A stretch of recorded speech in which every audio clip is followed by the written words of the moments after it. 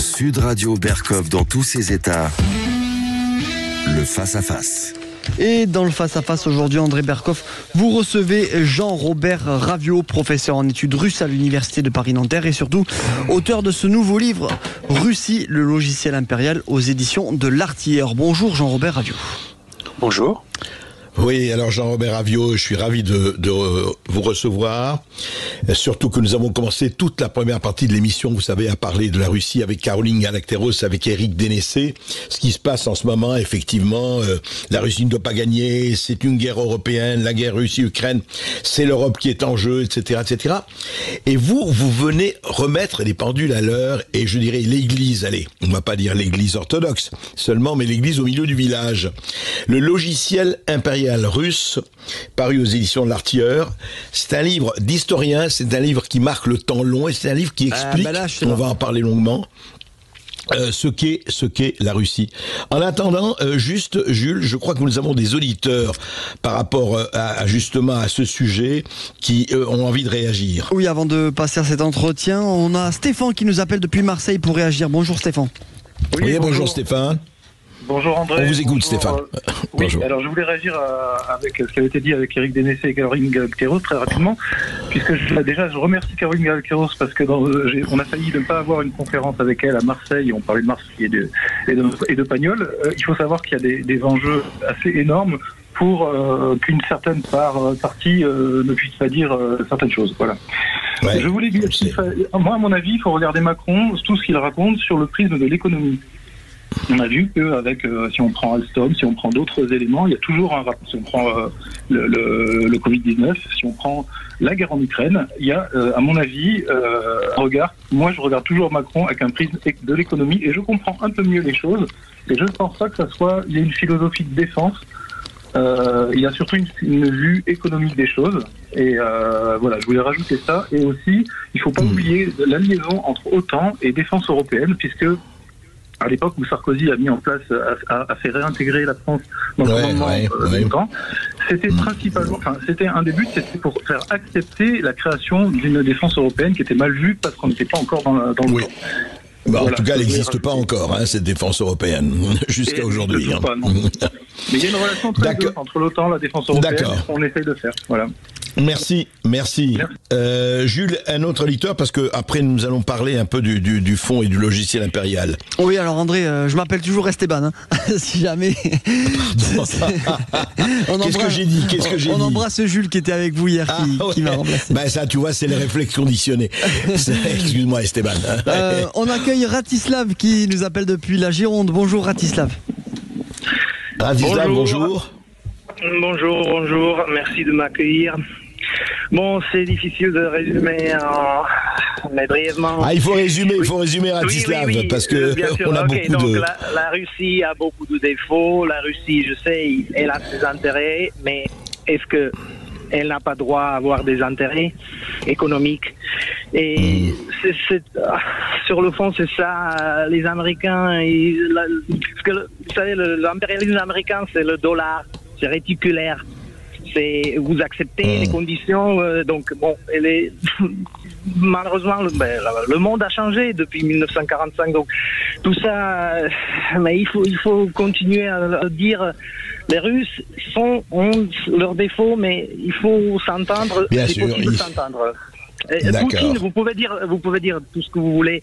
Il est méchant, il a, il a du sang sur ses mains, comme d'autres, comme d'autres présidents. Mais il, je hmm. pense qu'il est raisonnable on peut s'entendre avec lui. Et il ne voulait pas à la base ni entrer en Ukraine. Il aurait, la Russie aurait préféré une Ukraine neutre. Eh ben, ça, aurait été mieux pour l'Ukraine. Pour l'Ukraine. Ouais.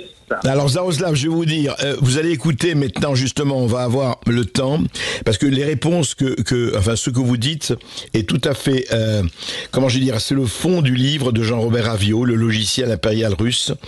Euh, et, il explique très très bien, et je voudrais, on va, on va, on va tout de suite aborder ce livre que je vous recommande vraiment parce que c'est bien, on peut, on peut être pour, on peut être contre, on peut avoir toutes les émotions, les, les, les dilections, les rejets qu'on veut. Enfin, si on ne regarde pas un peu le réel, comme je le dis toujours, j'ai presque l'air de radoter, le réel frappe à la porte et quand il frappe à la porte, c'est pas la peine de se boucher œil, yeux et oreilles, portes et fenêtres. Alors, euh, Jean-Robert Avio, je rappelle, je rappelle que vous êtes professeur en études russes et post-soviétiques à l'université Paris-Nanterre et que vous êtes ancien directeur des collèges universitaires français de Moscou et de Saint-Pétersbourg, et vous avez écrit plusieurs ouvrages d'ailleurs, euh, sur la Russie notamment. Et vous commencez votre livre, et c'est très intéressant, je voudrais qu'on parle de cela. Au fond, c'est quoi la Russie vous, vous commencez d'ailleurs au XVe siècle. Vous dites qu'il y a deux, deux euh, je dirais, deux lignes de force. Et il faut comprendre, parce que si, même si c'est votre adversaire le plus résolu, si vous comprenez pas votre adversaire, comment vous voulez-vous comprendre la réalité? Vous parlez d'une dynamique moscopolitique Moscopolite, pardon, moscopolite, moscopolitique aussi, et vous parlez de la puissance continentale ensuite. Alors expliquez-nous cette dynamique moscopolite qui, dirige la Russie depuis, des siècles en tout cas. Voilà, merci André Berkoff pour votre invitation et euh, j'apprécie que vous ayez euh, lu mon livre euh, attentivement. Alors le moscopolitisme, effectivement, c'est une notion peut-être un peu euh, ésotérique, mais je, je m'efforce de la rendre très claire. En fait, pour bien comprendre la Fédération de Russie aujourd'hui, il faut comprendre qu'elle est l'héritière de l'URSS, dont elle est un État successeur, hein, puisque la Fédération de Russie, après la chute de l'URSS, a hérité des obligations internationales de l'URSS. Euh, donc euh, elle est à la fois État successeur et en même temps en rupture avec l'URSS. Ça c'est déjà euh, un premier paradoxe. Il y a beaucoup de paradoxes dans, dans l'histoire russe. Il faudra en parler justement, bien sûr. On est là pour et ça. cette URSS, elle est née sur les décombres d'un empire de Russie qui a éclaté en 1917 et euh, moi, je suis remonte pour bien comprendre la dynamique politique contemporaine de la Russie. Il faut absolument remonter aux origines, et je place les origines. D'ailleurs, je ne suis pas le seul à un État qui s'est formé à la fin du, 15e siècle, aux alentours de 1480, euh, qui n'était, qui ne s'appelait pas encore la Russie, qui s'appelait la Grande Principauté de Moscou. C'est pour ça que j'ai choisi mhm. euh, Moscou est véritablement le centre de cette dynamique politique qui va se mettre en place à la fin du 15e. Oui, Jean-Robert Avio, vous insistez absolument, et c'est tout à fait intéressant de vous dire, l'omniprésence de Moscou, ça reste le centre, ça reste vraiment le, le nerf, le, la seule capitale euh, en Russie, quoi, le, le, le nerf. C'est le début, c'est le début de cette aventure qui aboutit à la constitution d'un État qui va être l'Empire de Russie. Alors comment Je ne vais pas détailler euh, euh, siècle par siècle, ça vous pouvez aller dans mon livre, mais euh, la, la, la, dynamique moscopolitique, c'est tout simplement une dynamique de rassemblement euh, de territoires sous la souveraineté de Moscou, d'abord des territoires euh, slaves de l'Est, orthodoxes euh, autour de Moscou, les anciennes principautés, éparpillées après le, le joug mongol, hein, donc à partir du 15e, 16e, et puis à partir du 16e siècle, se met en place une dynamique impériale, euh, donc euh, avec le couronnement du tsar Ivan IV dit le Terrible. Et euh, cette dynamique impériale va conduire cet État moscovite à devenir la Russie, l'Empire de Russie, un État moderne qui va se constituer par la l'expansion territoriale, d'abord vers la Sibérie. donc, on va constituer un État-continent, donc d'où j'appelle la Russie est essentiellement une puissance continentale. Puis ensuite, une expansion vers l'ouest, euh, qui est d'ailleurs à partir du 17e, 18e, qui est très intéressante à revenir là-dessus parce que les, la guerre en Ukraine actuellement se déroule euh, sur ces terres, hein, euh, qui, ont été, qui ont fait l'objet déjà de beaucoup de rivalités avec la Pologne-Lituanie au 16e, 17e, et puis ensuite vers le sud, Caucase, puis Asie centrale, pour former au 19e siècle cet empire de Russie qui est le plus vaste État du monde et qui est mhm. devenu une puissance oui, globale. Superficie. Voilà, en rivalité, euh, enfin, une puissance à la fois européenne, moyenne-orientale par le Caucase, euh, asiatique ou eurasiatique avec sa proximité, enfin sa frontière commune avec la Chine, puis son débouché sur le Pacifique, arctique vers le nord, faut pas l'oublier, et puis global parce que à partir de la fin du 19e, la Russie entre dans ce qu'on appelle le grand jeu. Elle est frontalière de l'autre empire, d'un autre empire, du grand empire global de l'époque, l'empire britannique, par les Indes donc la, poussée russe vers l'Asie centrale, mais la Russie en mhm. contact avec l'Empire britannique en Inde. Alors justement, on va continuer d'en parler et on va parler un peu là. Là, vous avez, mm, enfin, évidemment, rapidement. Il y a encore une fois, il faut renvoyer au bouquin. Mais qu'est-ce que c'est que cette Russie d'aujourd'hui, cette Russie, encore une fois, qui est aujourd'hui cette fédération de Russie, ce héritière de l'URSS, où on en est aujourd'hui? Parce que justement, ce qui est tout à fait passionnant, et hélas, quelquefois tristement passionnant, c'est qu'on parle beaucoup de la Russie sans savoir ce qu'elle est, ce qui est quand même un peu fâcheux. Après cette toute petite pause, on entre dans le vif du sujet. Et 13h13 sur Sud Radio, on est ensemble jusqu'à 14h avec Jean-Robert Ravio et vous au 0826 300 300 à tout de suite. Sud Radio, votre avis fait la différence. Je remercie Sud Radio de pouvoir donner la parole aux Français sans les couper en ayant d'autres avis. Et ça, vraiment, c'est la seule radio en France qui puisse le faire. Donc je tiens à le souligner. Sud Radio, parlons vrai. Ici Sud Radio. Les Français parlent au français. Je n'aime pas la blanquette de veau. Je n'aime pas la blanquette de veau. Sud Radio Berkov dans tous ses états. Oui, il est grand temps, il est grand temps de connaître, euh, de d'inventorier ce logiciel impérial russe. Et justement, euh, on peut pas évidemment aborder tout. Encore une fois, je renvoie à votre livre et je le recommande vraiment votre livre, Jean-Christophe Ravio. Euh, je voudrais savoir sur les rapports Russie-Occident. Justement, ça a été toujours un je t'aime moi non plus ou pas du tout? Qu'est-ce que parce que vous en parlez très très bien. Vous dites attention, ça n'a jamais été contre l'Occident ou par l'Occident, mais avec l'Occident. Alors expliquez-nous. Avec l'Occident, euh, avec je dirais aussi l'Asie, enfin la, Russie, en fait, ce qu'il faut bien comprendre, c'est que la Russie est un État qui s'est formé par une expansion territoriale historiquement très grande, qui est mhm. devenu un État à la fois continental, la taille d'un continent, et multiethnique, c'est-à-dire euh, qui comprend euh, des territoires très variés sur le plan ethnique, religieux, confessionnel. Et l'État et donc, euh, à la fois, c'est un atout, hein, cette continentalité, cette vastitude, qui donne à la Russie un avantage euh, militaire par un très fort interland euh, interne. On l'a vu pendant la Seconde Guerre mondiale, où l'URSS a pu déplacer des usines entières vers son est et, et sauvegarder ainsi son économie, enfin en partie. Mais c'est aussi beaucoup de faiblesses, parce que quand on a un État à la fois continental et multiethnique, il faut en quelque sorte maintenir l'unité et la souveraineté de l'État sur l'ensemble du territoire. Et c'est un, un Alors, défi, qui je la dirais. Maintient? Qui, qui la eh ben, l'État, justement, l'État, Moscou, euh, le chef de Mm. l'État, euh, l'administration fédérale aujourd'hui, euh, et c'est vraiment le, la dynamique moscopolitique. C'est c'est pas une dynamique de domination absolue, c'est une dominette, une dynamique politique qui vise à mettre Moscou toujours au centre et essayer de maintenir l'unité et l'intégrité de cet État, cette souveraineté, cette obsession du discours politique russe aujourd'hui pour la souveraineté, elle est liée à la prise de conscience par les élites de la faiblesse de cet État. Pourquoi? Parce qu'un État continental et multiethnique, il faut d'abord le développer économiquement, ce qui n'est pas du tout simple, ce qui Ouais. suppose d'abord de maîtriser la sécurité sur l'ensemble du territoire.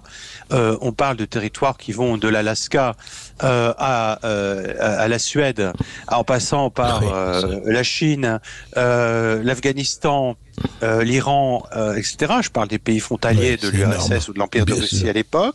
Et donc, et ça suppose d'abord cette vastitude continentale de la peupler.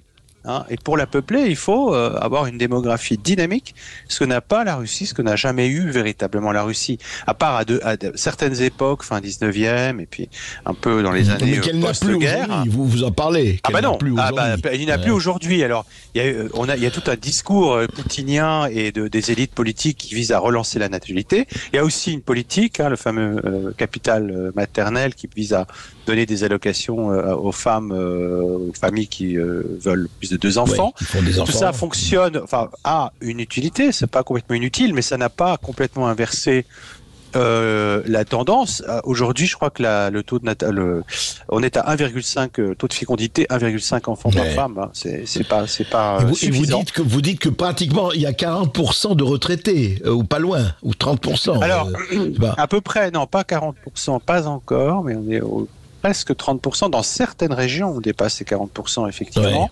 Et ce que je dis également, c'est que, enfin ce que je dis, c'est une réalité, c'est qu'il y a un très très grand nombre de gens en Russie qui vivent de la, de la redistribution de l'État, puisque les retraites en Russie sont euh, payées par l'État, c'est l'État qui garantit euh, les retraites. Et il y a aussi euh, des gens qui dépendent du budget de l'État en quelque sorte. J'ai essayé de quantifier, si vous voulez, le nombre de personnes qui dépendent de l'État, hein, soit par payer leur retraite, leur salaire, donc il y a tous les fonctionnaires de l'appareil fédéral, de l'appareil régional, soit de, des vastes secteurs économiques qui sont soit d'État, soit du secteur public, si on peut dire, soit euh, dépendent de la commande publique, hein, qui sont des entreprises privées, mais qui vivent sur la commande publique, typiquement Alors, le secteur militaire-industriel. Oui, alors justement, Jean-Robert Avio, c'est très intéressant parce que dans votre livre, vous expliquez que l'État étant la colonne vertébrale, hein, je veux dire, puisqu'il n'y en a pas d'autres, euh, et qui, permet de rassembler, en tout cas malgré les faiblesses, euh, toute cette espèce de, mosaïque euh, culturelle, ethnique et autres, vous parlez aussi que il faut faire attention par rapport aux visions de l'Occident par la Russie, par rapport à la Russie, où, où un certain nombre d'élites occidentales dit oui, en fait, il faut qu'ils qui se décentralise, etc. Vous vous dites qu'il y a un patriotisme d'État qui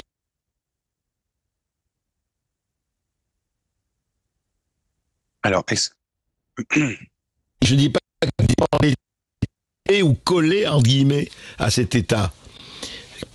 Alors, si moi, j'ai pas entendu la totalité de votre question parce qu'il y a eu un petit brouillage, mais c'est pas grave. Ah. Je pense que je, je, crois que j'ai compris le sens général. Donc, effectivement, le, le patriotisme d'État, c'est, je dirais, l'idéologie euh, aujourd'hui, hein, dans la Russie d'aujourd'hui. Euh, c'est un, c'est l'ensemble des idées qui sont euh, mises en œuvre euh, par des idées et des pratiques qui sont mises en œuvre par le pouvoir pour, euh, disons, favoriser l'unité entre le peuple et les dirigeants. Ce qui ne va pas de soi, parce que j'explique dans le livre, la Russie est un pays très inégalitaire. socialement et territorialement. C'est-à-dire que les différents, les, les inégalités sociales et les inégalités territoriales sociales entre les territoires sont bien plus marquées, par exemple, qu'en France. Euh, donc ça ne va pas de soi. Mais ce patriotisme d'État, il est très vivant. Et il a pour socle euh, une success story euh, qui est la success story de la victoire de 45. Je pense que évidemment, ah ouais. euh, on peut dire que il y a toute une mythologie autour de cette victoire. Enfin, la victoire n'est pas un mythe, hein, mais je veux dire, il y a tout un, un, ensemble, disons, c'est presque une mhm. religion, je dirais, avec ses cultes, ses pratiques, etc., que l'on cherche d'ailleurs à renouveler. Et c'est un socle qui est très solide. Euh, c'est un socle qui est très solide et le patriotisme russe contemporain s'appuie essentiellement sur cette victoire. Pourquoi? Parce que la victoire de 45, c'est un des rares épisodes. Euh, alors c'est un épisode, je montre dans le livre, qui est un, un, succès. Hein, et mhm. c'est aussi un épisode qui montre un aspect euh, très important euh, des représentations que la Russie ou que les Russes font de leur propre histoire et que j'ai nommé la résilience. Alors j'aime pas beaucoup ce mot-là parce que c'est un peu un peu psycho et je ne suis pas psychologue, mais néanmoins c'est quelque chose d'important en Russie, c'est-à-dire mhm. cette capacité euh, que les gens, enfin la plupart des gens pensent qu'ils ont une capacité collective à endurer des épreuves très très difficiles. Mhm. Et au cours du XXe siècle, l'État en fait russe, euh, alors l'Empire de Russie, puis l'URSS, etc., se sont effondrés deux fois Hein, L'État s'est effondré en 1917, puis s'est effondré en 91 avec la chute de l'URSS. Et puis en 1941, au moment de l'invasion allemande, il était pas loin de s'effondrer, on l'oublie souvent. Mais l'invasion allemande en juin 41 a presque fait s'effondrer l'URSS. Avant, La victoire, c'est une espèce de presque, euh, comment dire, elle, elle, elle est euh, un signe de fierté. Pourquoi? Parce que le peuple soviétique à l'époque, le peuple russe, a renversé la vapeur d'une manière extraordinaire et mmh. a gagné alors que contre toute attente, tout le monde s'attendait à ce qu'il euh, à, s'écrouler. Et le, peuple lui-même, bah, en 41, beaucoup de gens étaient désespérés en réalité. Donc, c'est quelque chose de très fort sur lequel s'appuie euh, et qui constitue encore aujourd'hui le socle. Bah, on a un exemple intéressant, c'est qu'à partir des années 2010, euh, le répertoire de la Seconde Guerre mondiale, enfin de la Grande Guerre patriotique, comme on dit en Russie, euh, les survivants commencent à, à, à, à disparaître peu à peu par effet de la démographie, de la biologie, si on peut dire. Oui, Donc on va renouveler ça par le fameux mhm. régiment immortel où les gens vont, euh, les jeunes générations vont utiliser Internet, vont aller chercher dans les, dans, dans, vont numériser des photos de leurs ancêtres les mettre sur des pancartes et défiler avec le jour du 9 mai, le jour de la victoire, ah pour euh, euh, comment dire commémorer cette victoire. Et ça, ça montre bien que cette, cette victoire reste le socle, même dans les jeunes générations aujourd'hui en Russie. C'est très très fort. Et encore une fois, c'est lié à la nature de l'État, c'est-à-dire à la fois euh, très grand, très puissant, avec une puissance célébrée, mais en même temps faible, fragile, et dont on a parfaitement conscience de ses faiblesses. Et j'ajouterais, pour répondre à votre question sur l'Occident, parce que l'Occident... Oui, j'allais vous la reposer, justement. Oui. Voilà, ce que l'Occident ne comprend pas dans la Russie ou a du mal à saisir, c'est que euh, les démonstrations de force de la Russie, voire démonstrations de force du type invasion de l'Ukraine en 2022, sont fortement liées à une conscience euh, ou une euh, intériorisation de la faiblesse de l'État. C'est ah Chez Poutine, d'ailleurs, ça revient très souvent. Pour la Russie, on mène une, une guerre défensive contre l'Occident. Mais Jean-Robert Avio, excusez-moi, est-ce que c'est une, quelque part une mentalité d'assiégé malgré l'immensité du territoire? Est-ce qu'il y a un côté, euh, oui, mais on est entouré, hum, que ce soit l'OTAN, que ce soit autre, ça joue cela? Bah, Assiégé, euh, c'est un terme qui revient souvent.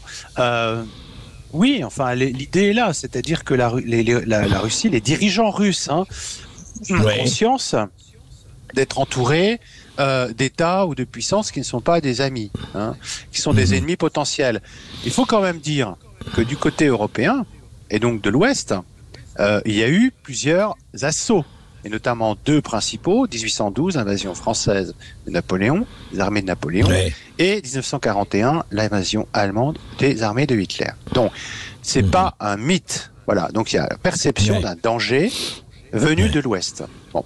Mais, cette, cette, cette perception d'une fragilité de l'État, c'est aussi euh, la perception d'une fragilité des confins et de la nécessité pour sauvegarder l'État Moscou, hein, Moscou, Moscou politique. La le moscopolitisme, c'est aussi l'impératif de consolider les confins et d'avoir non pas forcément des confins euh, très étendus. Alors, à l'époque euh, de l'URSS, la guerre froide, on avait des confins. L'URSS avait sanctuarisé ses confins dans, dans le bloc de l'Est. Hein, euh, donc, les, les États comme la Pologne, la Tchécoslovaquie, etc., avaient été occupés. Et en fait, bon, contraints à, à, à, devenir des espèces de forteresses protection de l'URSS. Aujourd'hui, c'est plus ça. Je pense que l'objectif de la Russie, c'est d'avoir des États voisins qui ne soient pas hostiles. Voilà, ne soient pas hostiles. Hmm. On va, on va tout de suite en reparler justement et entrer dans, dans continuer à, inventorier effectivement les forces et les faiblesses de la Russie et surtout par rapport à la perception qu'en a l'Occident euh, avec euh, euh, Jean-Robert Avio. À tout de suite après une toute petite pause. avec vous au 0826 300 300, vous aurez la parole pour réagir, pour poser toutes vos questions, pour tout simplement intervenir dans notre émission. On est ensemble jusqu'à 14h, ne bougez pas. Sud Radio Berkoff dans tous ses états, midi 14h. André Berkoff. Ici Sud Radio. Les Français parlent au français. Les carottes sont cuites.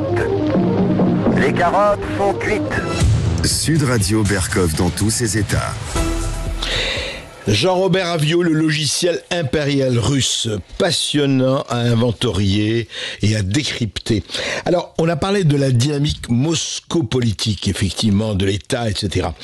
Parlons maintenant de seconde partie de votre livre, la puissance continentale. Alors aujourd'hui, incontestablement, euh, puissance continentale, euh, la Russie, on ne peut pas le nier. Et je voudrais savoir en quoi ça agit, parce qu'on a parlé par rapport à l'Occident, mais justement, on voit la montée des BRICS, on voit la montée des pays dits émergents qui, qui ont déjà émergé.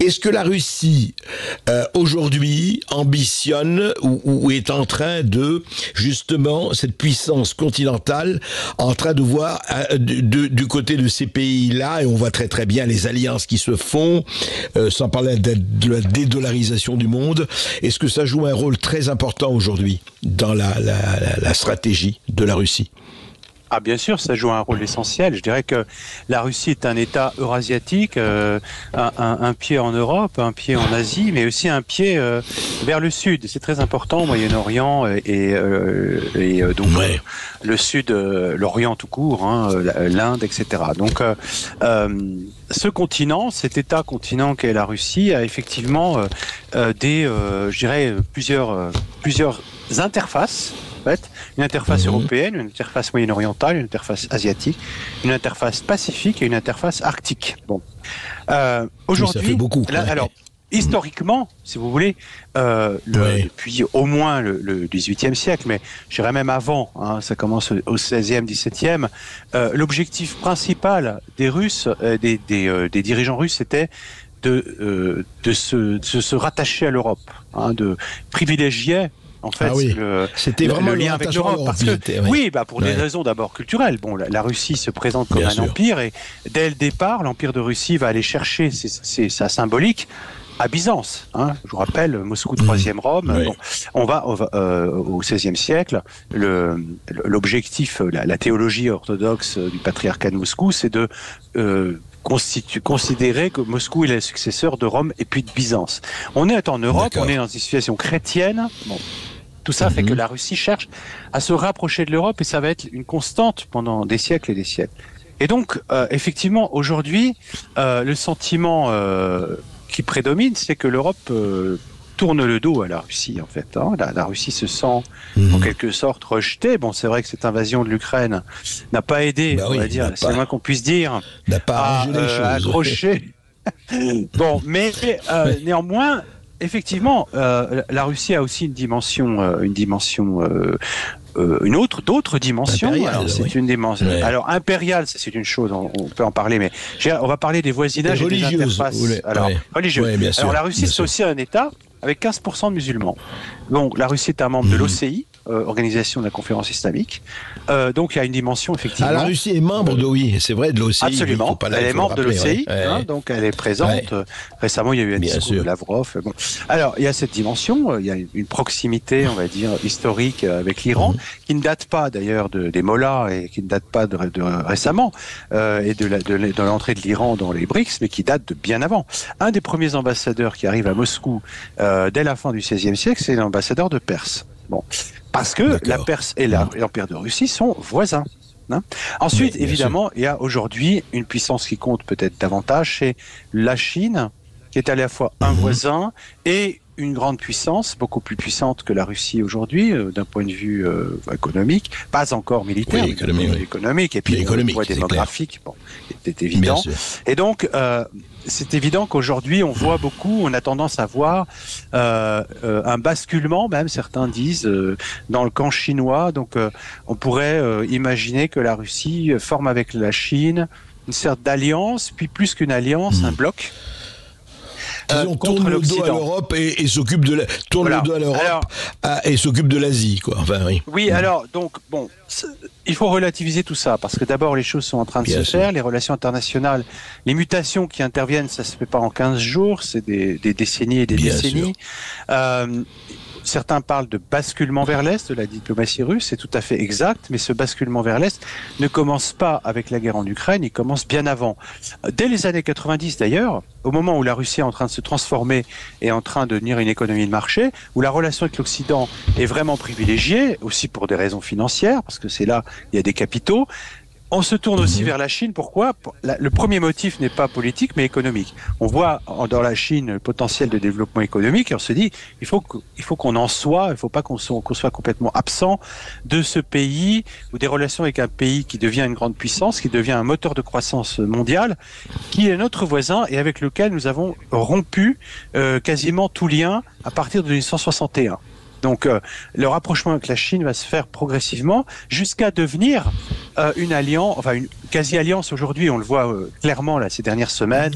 On a vu que la Chine se positionnait maintenant en, allié de la Russie dans le conflit en Ukraine. Bon, on ne livre pas encore des armes, mais enfin on soutient la technologie. Bon, alors ça c'est très intéressant parce qu'on peut y voir et beaucoup, beaucoup aux États-Unis, un pays où on réfléchit beaucoup à ça, déplore qu'en fait les sanctions occidentales et puis la, la, conflictualité avec l'Occident qui euh, et le choix de l'Occident en fait de, soutenir l'Ukraine en 2014 et de ne pas favoriser la paix, on va dire les choses comme ça, de pousser, on va dire dans le sens de la guerre, va en fait euh, rapprocher la Russie et la Chine, alors que les États-Unis auraient eu tout intérêt à mettre la Russie dans leur camp.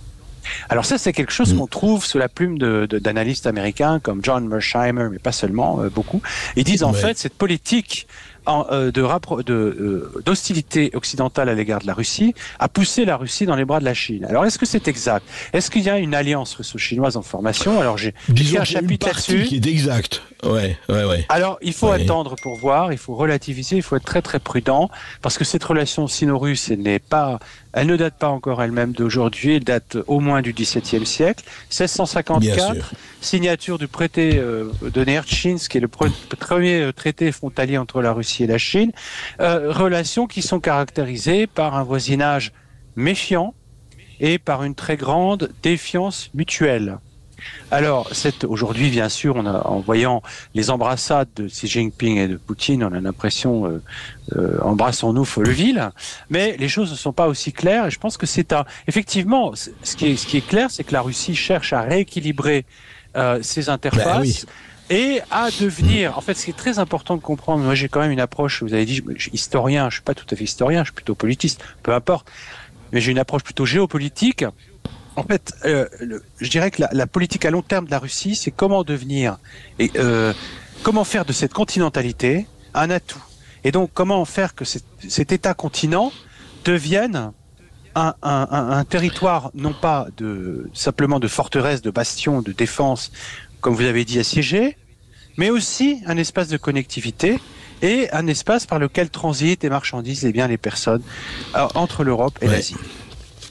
Alors justement, justement, vous dites, et c'est très intéressant, votre dernier, la dernière page de votre livre, votre conclusion est très intéressante, parce que vous dites, vous, vous citez Pierre Legendre, et euh, vous dites, euh, alors vous dites, euh, nous faisons le pari de la pérennité du logiciel impérial russe, ce que vous venez de décrire, hein, mais que vous racontez évidemment beaucoup plus longuement et beaucoup plus, et c'est normal, avec beaucoup plus en détail dans votre livre, mais vous dites ceci, vous dites, ça c'est très intéressant, Jean-Robert Avio, vous dites, euh, l'État russe n'est pas frappé, du moins dans la même mesure, par le délitement symbolique qui frappe l'État en Occident, un délitement de ce qui fait le collage de la foi et de la loi. Effectivement, il faut rappeler euh, ce que Poutine a beaucoup, beaucoup le, retour de l'orthodoxie en Russie, le, retour qui, qui mériterait une émission à elle seule. Mais euh, je continue. Vous dites ceci, vous dites euh, la vigueur du patriotisme russe, sa défense par les élites dirigeantes et pour l'heure la croyance de ces dernières et d'une grande partie de l'opinion russe en une certaine sacralité symbolique de la Russie. On revient au sacré à la religion. La croyance en la persistance d'un capital fiduciaire fort de l'État russe, d'un sens à l'existence de la Russie et à sa persistance historique en tant qu'État et que grande puissance, contraste vivement et je crois que c'est vraiment assez fondamental ça, en tout cas ce que vous dites, euh, contraste vivement avec l'état d'esprit qui règne en Europe occidentale, où les dirigeants politiques, soutenus par l'immense majorité des élites sociales, considèrent vivre le temps de la disparition de leur nation et du recul nécessaire de leur propre fonction étatique et souveraine au profit de l'Europe, entre guillemets, ou pour laisser la place à une gouvernance mondiale à venir. Et vous concluez, en Russie, une certaine foi continue à coller avec la loi. En dépit des vicissitudes qui ont marqué son histoire récente, l'État russe n'est pas devenu, à l'instar de la France, un fantôme. Donc la France est devenue un fantôme, Jean-Robert Avio Ça y est, c'est plié oui, merci André Berkoff. Et je m'excuse, euh, on m'a fait remarquer, mes lecteurs m'ont fait remarquer que c'était là une phrase extrêmement longue euh, et sans doute la phrase la plus longue du livre. Euh, à mon insu. Elle est, elle, est, elle, est, très importante. Alors, tout d'abord, la moitié de ce que vous avez lu, c'est pas moi qui l'ai écrit, c'est Pierre Legendre, qui est un auteur qui m'inspire beaucoup parce que c'est un historien du droit, des institutions, et bien plus que cela, et qui est quelqu'un qui, qui, qui montre la continuité, comment dire, de à travers des pratiques et de droits euh, d'une certaine mhm. conception de l'État et, du droit et de la, loi à travers les et, qui montre aussi la fragilité et le discrédit euh, jeté sur ces institutions en Occident hein, et en particulier en Europe occidentale. Mhm. Et donc c'est lui qui dit en France nous vivons dans, des fantômes de l'État. Alors, ce qu'il veut dire, c'est que euh, euh, il y a partout dans des survivances de la monarchie, par exemple, Parlement, etc., mais qui sont fantomatiques. Pourquoi? Parce que les élites sociales dans leur, et dirigeantes, dans leur grande majorité, sont passées à autre chose et non seulement ne connaissent pas cet héritage, mais n'ont pas envie de, mmh. continuer en quelque sorte. Regardez tout le discours sur l'Union européenne qui est censé être notre avenir président Mitterrand disait l'Europe euh, c'est l'avenir, euh, je sais quoi s'est passé. Enfin bon bref, c'est quelque chose de très profond en Europe occidentale. En Russie, par contre, euh, et c'est pour ça que je voulais souligner la différence, c'est que la, plupart des gens, personne ne pense que la Russie a vocation, par exemple, à entrer dans l'Union européenne et à devenir un xème État de l'Union européenne, au même titre que la Croatie, l'Estonie ou la Belgique. Vous voyez? Bon, ça, ça n'aurait aucun sens. Et donc la, la Russie, elle a une sorte de de par sa continentalité d'ailleurs en partie, hein, elle a une mhm. sorte de d'existence. Voilà, elle existe ou elle n'existe pas, mais si elle existe, elle peut pas s'encastrer dans d'autres choses. Donc, il n'y a pas de possibilité pour. Si l'État russe existe, ben, il doit continuer euh, la route qu'il a entreprise. Euh. Et c'est la foi, c'est la foi qui fait ça. Alors la foi, on va en parler. La foi, peut-être pas forcément religieuse. Quand euh, Pierre Legendre parle de la foi, il parle de de tout un corpus théologique et politique, Bien sûr. qui comprend la religion, mais qui comprend aussi la politique, les idées politiques, etc. Donc là, c'est ça que je veux dire. Par exemple, ce patriotisme dont on parlait tout à l'heure. Hein, cette, euh, qui est une, enfin, cette, euh, ce culte de la Seconde Guerre mondiale, de la Grande Guerre patriotique, ça fait partie de, de cette croyance dans euh, un État russe qui a une, une identité, une fonction, un destin. et au fond une, une, une existence réelle et une ce que, ce que, ce que et on peut se poser des questions effectivement. Hélas, hélas, mais je crois que les élites peuvent se remplacer aussi sur ce qui se passe en France. On, continue juste après une petite pause et on prend les auditeurs de Sud Radio. Oui, parce que vous, êtes beaucoup à nous appeler aujourd'hui 0826 300 300. On marque une courte pause et on est là jusqu'à 14h. À tout de suite.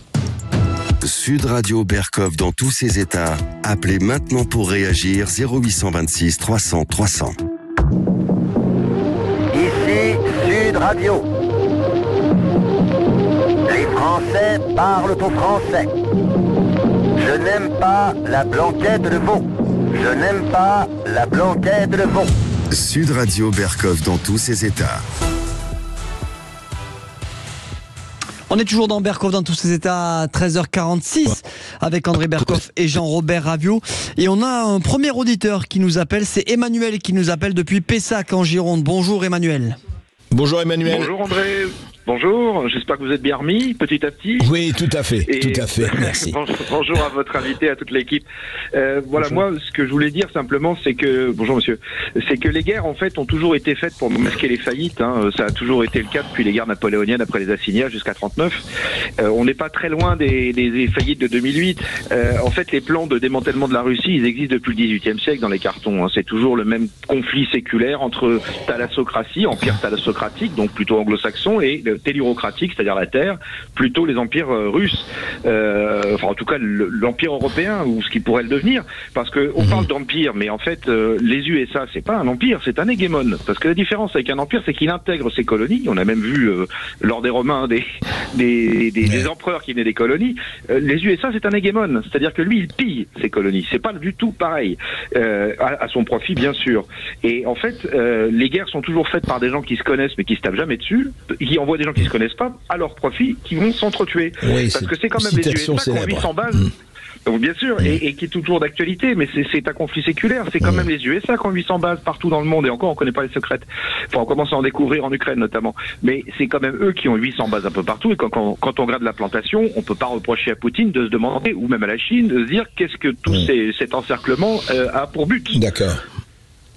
Alors, voilà, euh, Jean de, de votre invité. Oui. Ah ben, moi, alors, euh, je vous suis tout à fait, euh, Emmanuel, sur la distinction entre hégémon et empire. La Russie est un empire euh, au sens historique du terme, c'est-à-dire ce que j'appelle moi un empire archaïque, c'est-à-dire un ensemble de territoires qui se formaient à partir d'un centre par agrégation de territoires qui sont dans la continuité territoriale. Ce fait que dans les empires archaïques du type Russie, Chine, euh, empire assyrien, il y a une très difficile distinction au bout d'un certain temps entre ce qu'on appelle la métropole et puis les espaces conquis. Dans les, dans les hégémones ou dans les empires ultramarins comme l'empire britannique ou espagnol ou français, il y a euh, d'un côté la métropole européenne et puis les territoires conquis outre-mer. Et donc c'est tout, tout, à fait un autre type d'État. Euh, on, on, a tendance à mettre ça sous le nom d'empire, mais en fait, ce, ce, bon, moi je distingue empire archaïque, empire ultramarin. Vous le faites empire euh, hégémone. C'est tout à fait. Je vous suis tout à fait. Voilà. Quant aux bases américaines en Ukraine la CIA qui ont été révélées, bah, c'était un peu un secret de polichinelle, mais ça a été révélé par une enquête. Les, les 12 bases sur la frontière hein, ukrainienne. Alors c'est tout à fait euh, bon. Euh, c'est pas une vraie surprise. Euh, effectivement, je pense que l'installation militaire et du renseignement américain et britannique en Ukraine à partir de, 1900, de 2014, pardon, est un des motifs de l'invasion de l'Ukraine en 2022. C'est-à-dire que cet investissement euh, militaire euh, euh enfin, américano-britannique en Ukraine est tout à fait réel et jugé à Moscou et perçu à Moscou comme euh, visant la Russie et visant à affaiblir la sécurité de la Russie. Je parle des dirigeants russes, hein, leur perception.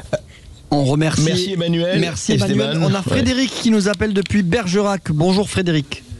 Bonjour Frédéric. Bonjour à votre équipe, bonjour aux éditeurs depuis la Dordogne.